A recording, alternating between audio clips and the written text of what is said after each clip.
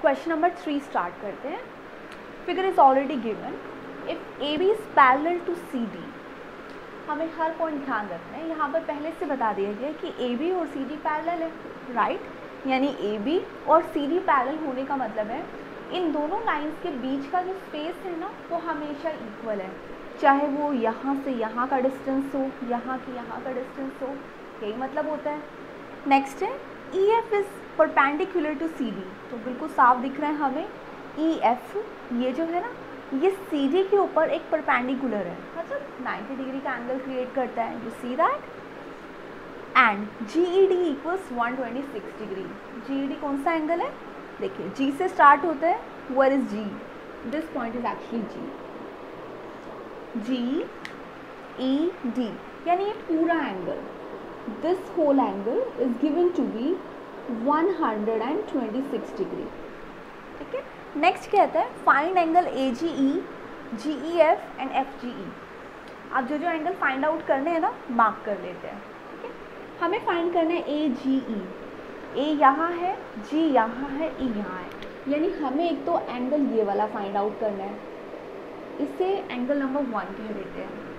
Next है, हमें find करना है angle G E F G ई इसका भी नाम रख देते हैं इसे एंगल टू कह देते हैं। ठीक है? नेक्स्ट है F G E F G ई यानी ये वाला भी एंगल हमें फाइंड आउट करना है। Right right? तो बहुत ईजी है तीनों एंगल्स निकालना। एक्चुअली ईजी है। बहुत सारी चीज़ें आपको वैसे ही पता चल जाएगी फिगर देखने से ही। चलिए स्टार्ट करते हैं। तो क्वेश्चन कहते हैं कि आ, सबसे पहले स्टार्ट करेंगे गिवन से। लिख देते हैं जल्दी जल्दी क्या क्या चीज़ें गिवन है? जो जो ऑप्शन गिवन है उन्हें हम शॉर्टकट में यहाँ मैंशन कर देते हैं।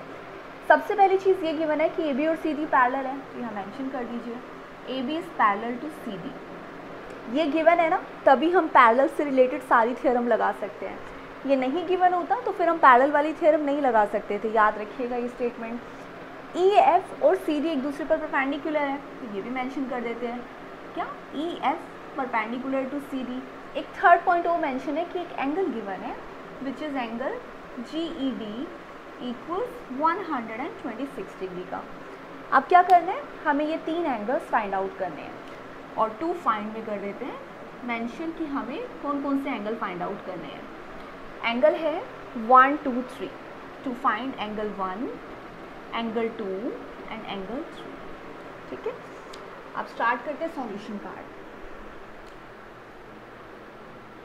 सॉल्यूशन में देखिए, सबसे पहले जो एंगल हमें गिवन है ना 126 डिग्री का, इसी एंगल को अगर आप ध्यान से देखें, ये एंगल कुछ इस तरह से बना हुआ है, जिसमें इतना हिस्सा 90 डिग्री का पहले से है और ये पूरा एंगल है 126 डिग्री का। ये पूरा एंगल 126 है, इतना एंगल 90 डिग्री है तो क्या हम पता कर सकते हैं इतना एंगल कितना बचेगा? कितना बचेगा? 126 ट्वेंटी सिक्स माइनस नाइन्टी तो ये तो हो जाएगा 126 ट्वेंटी सिक्स माइनस नाइन्टी कैसे? अब यह मैंशन करते हैं। कौन सा एंगल है? Angle two angle two equal 126 twenty six minus ninety degree ठीक है? अब एंगल टू की वैल्यू कैलकुलेट कर लेते हैं। 126 ट्वेंटी सिक्स माइनस नाइन्टी कितना होगा? सिक्स थर्टी सिक्स डिग्री का आ गया। तो हमें मिल चुका है ये वाला एंगल 36 डिग्री का। राइट अब एक और चीज़ देखते हैं। हमें पैरेलल वाला पार्ट भी गिवन था। है ना? A B or C D parallel है। अब देखिए, जब ए बी और सी डी एक दूसरे के पैरेलल हैं तो अगर हम इस परपेंडिकुलर को ये मान के चले कि परपेंडिकुलर एक तरह का ट्रांसवर्जल लाइन की तरह काम कर रहे हैं तो ये वाला एंगल अगर 90 है तो क्या ये एंगल 90 डिग्री होगा? है ना? तो ये एंगल भी 90 डिग्री हो गया। क्यों निकाला हमने ये एंगल 90 डिग्री क्योंकि ना यहाँ पर बनती है एक ट्रायंगल जिसमें हमें ये एंगल पता है? कितने डिग्री का ये एंगल अभी हमने कैलकुलेट किया 36 डिग्री का। आपको ये एंगल पता है 90 डिग्री है तो क्या थर्ड एंगल हम नहीं निकाल सकते हैं? जब किसी ट्रायंगल के हमें दो एंगल्स पता हो तो थर्ड एंगल निकालने के लिए क्या करना होगा? एंगल सम प्रॉपर्टी लगानी होगी। तो उसका मतलब है सेकेंड पार्ट के लिए हम ये मैंशन करेंगे angle two plus angle three angle two plus angle three plus ninety degree equals one eighty क्यों है ये नाइन्टी डिग्री का? uh, क्यों वन एटी है?